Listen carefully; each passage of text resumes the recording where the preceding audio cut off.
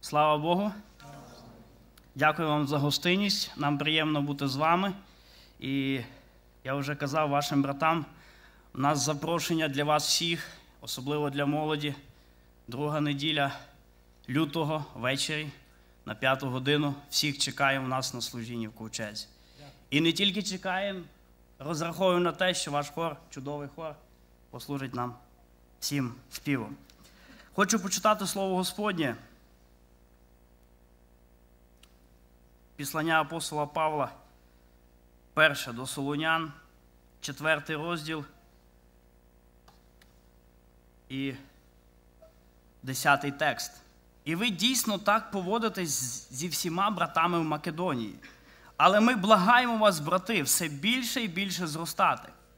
І старано дбати про те, щоб жити спокійно, робити своє діло та працювати своїми руками, як ми заповідали вам щоб ви поводились пристойно перед сторонніми, і щоб ви ні від кого не залежали. Луки, 17 розділ, 7 текст. Хто з вас, маючи раба, котрий оре чи пасе, коли прийде з поля, скаже йому: Іди зараз же сідай до столу. Навпаки, чи не скаже йому, приготуй мені вечерю, підпережися і прислуговуй мені поки я буду їсти і пити, а потім ти сам будеш їсти і пити. Чи буде він дякувати рабові тому за те, що виконав наказ? Так само і ви. Коли виконаєте все, наказане вам, то кажіть: ми, раби нікчемні, бо зробили те, що повинні були зробити. Я думаю, за рабів не до кінця ми можемо зрозуміти, тому що живемо в інший час. Рабів немає. І слава Богу, що немає. Бог зробив нас вільними. Іноді є раби гріха серед народу Господнього. І це так печально. Написано, щоб ви не від кого не залежали. Перш за все, мова йде не про супердуховних людей, так званих які ніколи не хочуть нікому покорятися. У них така думка, можливо, ви зустрічали таких. У мене зв'язок з Богом. Пастор, що ти мені кажеш? Жінка вдома, чоловік каже, ти ти мені не голова, в мене інша голова.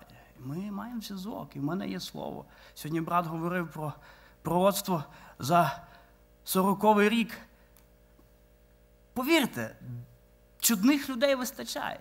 І вже не один раз такі відкриття були. Але як добре, що ми маємо слово Господнє, яке вчить нас, що так не буде, як вони кажуть. Ви знаєте, на що я хотів би звернути увагу? Як так жити, щоб жити спокійно? От є люди, які вміють жити спокійно. А є такі, послухаєш, і думаєш, чи я не такий? Чи я згубився? І хочеться сказати, якщо в тебе з 20 та з тисячі людей з одним лише немає проблем, і то немає, тому що взагалі з ним справи не маєш. А з всіма проблеми, то може не в тих людях проблема, а в тобі проблема. Молодь вона, ми всі дуже гарячі. І так буває, ми хочемо, дайте мені служіння, дайте я буду проповідувати, дайте я заспіваю. І слава Богу, що нам дають, співайте, славте Бога. Але іноді, як почнуть співати, як заспівають, я не проспів пісень. І раб чи не раб, і хто раб, і хто залежний.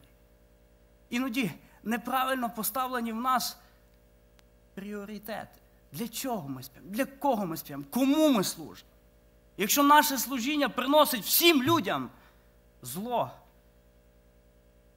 і наш єпископ так часто любить згадувати за одного брата, який прийшов і каже: Ну, горе мені, я не благовіствую, мені горе, дайте мені слово. А він каже: ти як не благовіствуєш, то тобі одному горе. А ти як почнеш благовістити, то нам всім горе. Розумієте? Це люди, які не вміють жити спокійно. Якщо Бог дав дар, якщо Бог дав талант, використай в правильних цілях. В Писанні написано за двох учнів Петро і Іван. Івана сильно любив Христос. Він на таємній вечері схилився до нього на груди. І так всім не по собі було. Петро думав, захищу Христа, вухо відтяв. Він найближче в той час пройшов до Христа, коли його допитували. Навіть коли Він воскрес Христос, то Магдалина прийшла і звістила, немає його там. І два учня бігли. Ви уявляєте, двоє побігли. І що зробиш, що Іван швидше бігає? Ну, ну що зробиш? Він перший прибіг.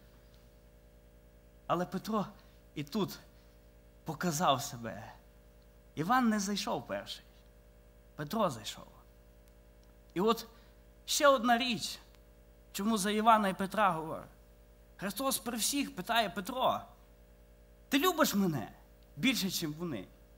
Навіть навіть той час, коли коли ти не так швидко бігаєш. Навіть тоді, коли ти зрадив мене, але покаявся. Чи любиш ти мене більше? Та знав Христос Його серце, Його ревність. Він каже, так, Господи, ти знаєш. Ти знаєш, що я біг, я хотів швидше. Я хотів як краще. І каже Христос, спаси моїх овець. Вдруге, чи любиш ти мене? Так, Господи, ти знаєш. Втретє, чи любиш ти? Ти все знаєш. Ти знаєш, що я люблю тебе. І Христос каже йому, якою смертю Він помре, що прийде час, його поведуть. Не так, як він схоче. Каже, йди за мною. І тут Петро озирається на того, що швидше бігає. І каже, а він що? І тут Христос каже, а що тобі? Ти йди за мною. Браті сестри, не дивімося по сторонам, не дивімося на інших людей. Можливо, вони швидше вміють, гарніше вміють, не це оцінюється. До євреїв написано, від доморядників вимагається, щоб вони вірні були. Розумієте, вірні, які вміють жити спокійно, робити свою справу, працювати руками, не бути залежними. Знаєте, як люди іноді бувають залежними? Просто зв'язують себе своїми словами, стають залежними в матеріальних речах від когось. І ти вже не можеш говорити прямо і конкретно від Бога, тому що ти зв'язаний. Не зв'язуймо себе.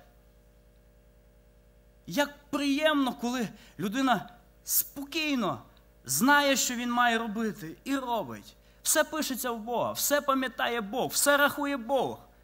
Коли ми маємо такий найкращий час, молодь, використаємо його. Ми не на гонках, ми ми не покликані показати, хто гарніше, хто вміє, хто не вміє. Від серця, від душі.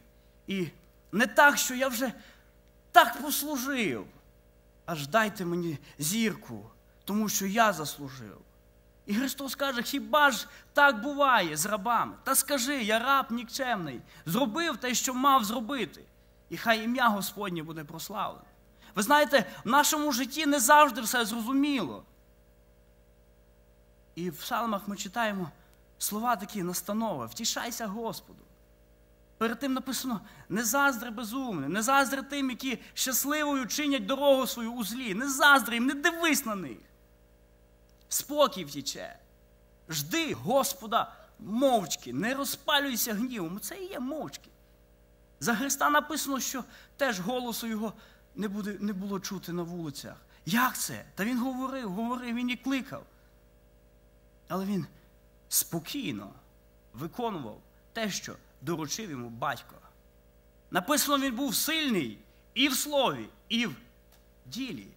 Говорити одне, показати себе одне, але в ділі. Апостол Павло каже, заради цього ми, ми йдемо навіть на смерть. Христос визнав нас гідними. Христос дав нам відкриття, і ми живемо так. Час Він так швидко втікає. І сьогодні слово таке гарне було за підняту голову. Це не та голова, яка піднята, тому що я так вмію. Всі знаєте, що це я. Ні. Божі раби вони не так робили.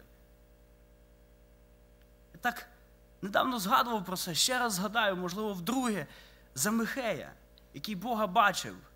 Бог відкриття йому дав. І воно перечило відкриттю 400, близько 400 пророків, які говорили протилежне. Але він не дивився, він не був залежний від людей. Навіть на прохання, та скажи, як всі кажуть. Ні, я скажу, як як Господь мені сказав. Він вмів робити свою справу. Навіть коли дали йому в лице так нормально. Це недобрий чоловік. Коли його відправили десь за слова Господні посадити, присадити, він сказав все одно, побачите, буде так, як сказав Господь. Це люди, які навчилися правильно жити. Як багато є тих людей, які взагалі серед нас невідомі, серед вас невідомі. Але, можливо, і вночі, і не один день лються сльози за народ Божий. Я так люблю часто слухати таких спокійних людей, які життя прожили. Можливо, сива голова, біля такого дядька сядеш, доброго дядька, він як розкаже, як себе треба вести, як треба жити як він жив. І хочеться, слухав би і слухав би. Тому що це люди, які навчилися жити. Браті і сестри, хай поможе нам Бог зрозуміти, особливо молодь, зрозуміти. Не робімо проблем братам, сестрам нашим і собі не робімо. Навчимося жити спокійно.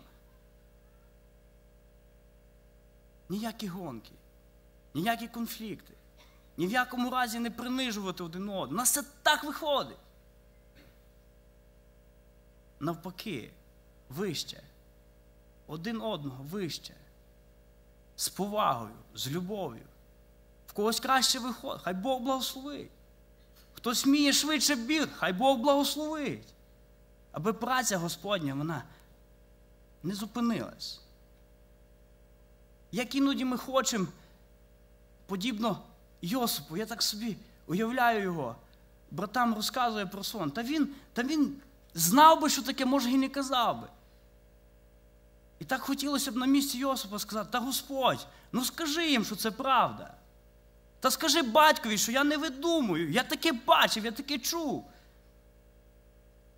Бог дав слово, а він жив спокійно, не нарікав, ждав Господа мовчки.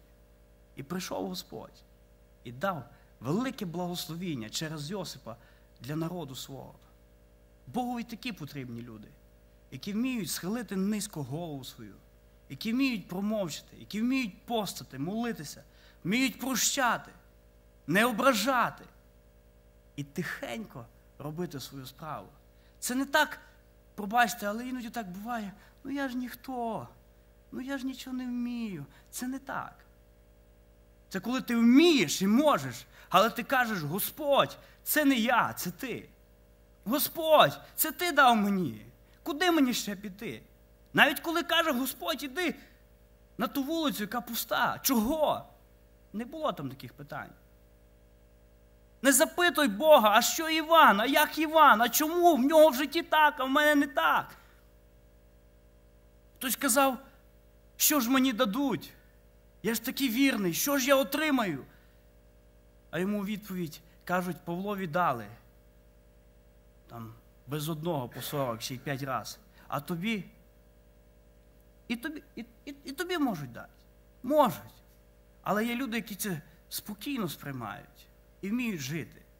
Перегляньмо наші відносини з братами нашими, сестрами нашими. Взагалі, є такий один чудовий текст: ліпше кусень хліба сухого спокоєм, ви уявляєте, ніж повний дім заколеного скота, а там не згода. Подумаймо про це. Можливо, нам комусь сьогодні треба просто присісти чуть-чуть. От зупинитися. Гляньте, які відносини до братів, до сестер, до Бога, які відносини до, до служителів, до батьків. Може, ми не такі вже великі служителя, щоб нам так жити і дозволяти собі багато речей. Бог з задоволенням дивиться на тих, які спокійно живуть, не завдають проблем собі, братам, сестрам і працю роблять. Не так просто сидять, працю роблять. І ім'я Господнє славиться. Я ще і ще закликаю. Давайте ми по-справжньому, по-справжньому будемо служити Богові. Не розраховувати на щось, не шукати свого, не шукати слави. Павло каже, ми не шукаємо слави від людей. Ви знаєте чому? Бо сьогодні люди кричать Осана, благословений, ти раб Божий. А завтра кричать ті самі люди, розіпни. І не дивуйтесь цьому. Вам сьогодні прийдуть скажуть, ти молодець, ти добрий, завтра прийдуть і зовсім інше скажуть. Може, ви так за день міняєтесь? Може. Ну не завжди. Це люди, і вони схильні. Це ми. Дав би нам Господь сили твердими бути.